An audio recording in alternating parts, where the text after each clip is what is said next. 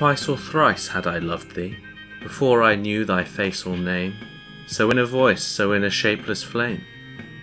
Angels affectest oft, and worshipped be, still when to where thou wert I came, some lovely glorious nothing I did see.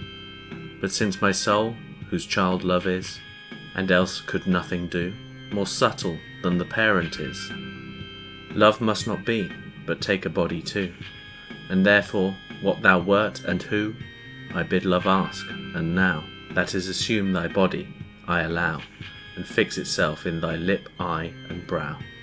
Whilst thus to ballast love I thought, and so more steadily to have gone, with wares which would sink admiration, I saw I had love's pinnacle overfraught, every thy hair for love to work upon, is much too much, some fitter must be sought.